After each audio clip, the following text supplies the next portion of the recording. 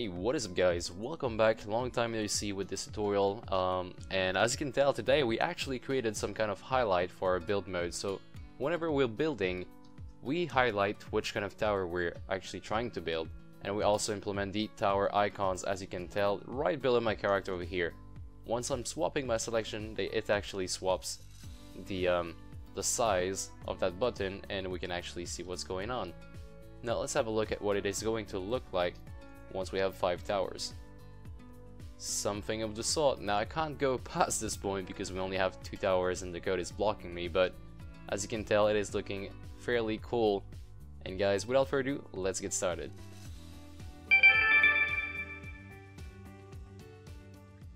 Alright, so we pretty much have to create a new piece of UI now, and this is going to be to help the player know which tower he's currently selecting. Uh, of course, right now we have the visual feedback in the game, so right now I have the shock tower, right now I have the arrow tower, but that's not really obvious, and we don't really know what happens if we move um, one step forward in the arrow. We don't know which one we're going to get. So we're going to give the player some kind of visual feedback by creating another piece of UI that I'm pretty much just going to copy of the spell button container. So I'll just go ahead and control C, control V on that. And I'll call this tower icon container. Like this and I'll just move it a little bit up like about here. And I'm going to remove um, actually I'm not going to remove anything on that but we also need a new prefab. So you see the spell button over here. Let me drag and drop that under the tower icon container. And this is what I'm going to change. I'm going to change the name of this to tower icon. And I'm also going to remove the button element because it is not going to be a button Okay, once I've got this, I can actually, um, I'm actually going to leave this on here and drag and drop this new tower icon under the UI folder. Alright, so with pretty much any new piece of UI, let's let me just uh, remove that really quickly. We need to add this to the UI manager. So let's open up our UI manager script.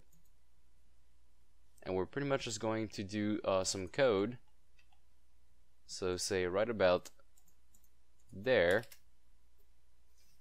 we're going to be doing a region, so region for tower icon. And the region and then declare a public game object tower icon container. And also a public game object tower icon prefab and just below that, I also make a public helper function that is going to fill the tower icon container. And it's going to take in a int, which is going to be the thumbnail index, and this name is might be a little bit too odd, so let's change fill tower icon container by add tower icon to container. Okay, so basically, uh, we're going to be calling this function from the build mode because the build mode knows how many tower we have. Uh, and we pretty much got to be instantiating the tower icon prefab here. So let's do game object go is equal to instantiate. We're going to instantiate the tower icon prefab at uh, say vector 3.0. We don't need to care about the position because the layout is going to re uh, re reposition our prefab. So we don't need to do anything on the position nor the rotation so quaternion.identity and we're spawning this as a game object and the reason we're doing this is so we can actually use it right here. Okay so um, we got our game object. We're to say go.transform.setParent and we're going to make sure that the tower icon container dot transform is its actual parent. Okay, so we've got this. All we're missing right now is the actual icon on it, so we can say go.getComponent, we're getting the image component, dot sprite is equal to get action thumbnail, and we have the thumbnail index as the parameter. Okay, and let's actually do plus, um, I think it is if we go back to our image, I think it is plus 12, but I'm not quite sure. So we've got 8. Okay, we're going to be starting at the ninth. Uh, the 8th index, but the ninth image. So let's do plus 8. Okay. Another reason we're doing this, I hope you guys uh, understand, it is because we are starting all the tower buttons starting at the 8th index. So when we call this add tower icon to, con um, to container, we can simply say, okay, so add the first tower, which is index 0, add the second tower, which is index 1, and over here we actually do the plus offset. Okay, so we've got this code pretty much uh, here. Now, in order to call it, I like to call it from the build mode. So where exactly is the build mode? Here it is. I'm going to open up this script. And somewhere about here in the start, we're going to say fill the tower icon container from UI manager.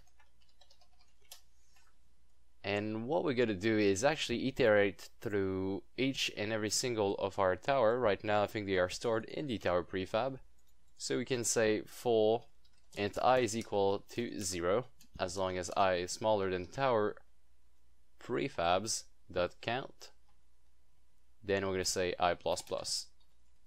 And just below this we call the UI manager, so UI manager dot instance dot fill or no it was the uh, add tower icon to container and we can send him I, like this. Let's actually try this out in the game. So I'm going to boot this. And we've got a no reference because we didn't set the, where is it at? The um, tower icon prefab. So if we go back under the UI manager, the script here, we have this new tower icon container and also the tower icon prefab that we need to set. So as far as the prefab goes, it is over here, the one we've just made. And the container is this new piece of UI. Right about here. Okay, now if we play once more, here they are. So these are our two towers button. Now they should not be there when I'm not in the build mode. So what I'm going to do is actually go back in the UI manager and um, we're pretty much going to turn them off whenever we don't use them. So inside of my UI manager, I'll actually create another function right here and I'll call it toggle tower icons like that. And we're going to take in a bool parameter. So bool is showing and uh, we're pretty much just going to say tower icon container dot set active is equal to is showing. Okay, and now we need to do some stuff from the build mode. So inside of the build mode, when we go over here to the the last two functions, which are activate build mode and deactivate build mode, here they are. Um, we're pretty much going to be calling UI manager that instance that toggle game menu. Oh, not game menu. So toggle tower icons and uh, when we activate it, of course, put it on true. And when we deactivate it, we're going to be putting that on false. Alright, and I think that is going to be pretty much it in terms of the code. Okay, so on and off as you can tell, but of course we need to um, we need to turn it off when the game starts and also if I press on this this actually works fine. Okay, so yeah, all we need to do right now is actually turn it off when the game starts. So we can do that in the UI manager, in the unit and update. And uh, somewhere around here in the uh, in the initialize, we're gonna say tower icon container dot set active is equal to false.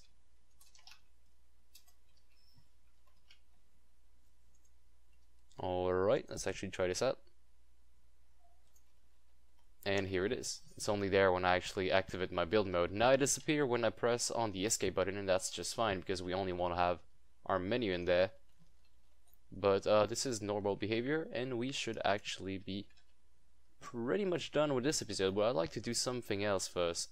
Uh, right now they just spawn and we don't really know which one we're selecting, so what I'd like to do is actually boost up the scale of the one I'm selecting right now and also remove the panel around it.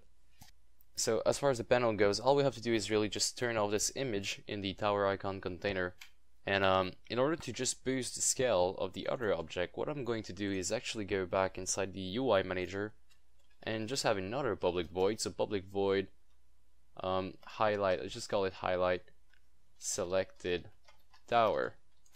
And we're going to take in the selected tower index as a parameter. Now, before we code this, let's actually go back into build mode and call it whenever we actually need it. So I ha we have a function that is called onSelectionChange, and I think that's going to be uh, that's going to be the right place to do it. So inside the onSelect onSelectionChange in the build mode, we can do UI manager dot instance dot highlight selected tower index and as far as the parameter goes, I think we have something called selected tower index right here. Okay, so we got pretty much all we need. Now, once we call this function, let's do a for each transform t in tower icon container. And let's do t dot local scale is equal to say vector 3.1 times 0.75, which is going to reduce the size of every single icon we have. And then after that, we can do tower icon container dot transform dot get child, and we're getting the child at the index selected tower index like so. And of course, uh, once we've got this, we can do dot local scale is equal to vector 3 dot 1 and if you want to increase the size just a little bit maybe 1.25f this is actually going to work. Um, now we need to, over here in the for each, we need to actually set that as a transform. So for each transform t in tower icon container, the game object dot transform, and then we can do our iteration. Alright, so we've got this rolling. Now if we go here, and I press on R, as you can tell, now this one is highlighted. If I press on E, it actually goes back to the one next to it. And once, of course, once we have 5, it's actually going to look something like that so it's not too bad and it's actually actually it's looking quite great. Alright guys so thanks a lot for watching. If you enjoyed this or if you learned something please leave me a like. And um, as always it's really appreciated. If any question or comment you can also leave them in the comment section below and I'll try to answer them as soon as possible. Other than that please subscribe for more tutorials like these and I'll be seeing you guys in the next episode